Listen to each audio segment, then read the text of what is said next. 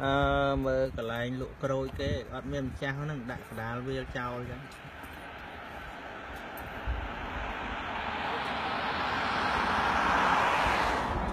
ហ្នឹងអត់មានម្ចាស់លក់ទេស្រុកហ្នឹងអត់ឃើញមានចោលបន្លំយើងយកមកយើងយកមួយដែរយើងមកយកឲ្យដាក់លុយទៅទៅទៀតទៅអត់មានម្ចាស់អត់មានម៉ាស៊ីនគិតលេខអី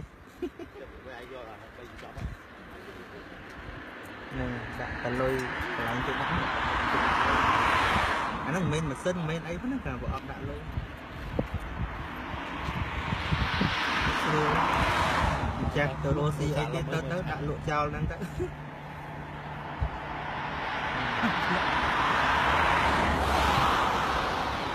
សាក់ឡមើមើភ្លុកមើបែបបាទបាច់អ្នកលក់អី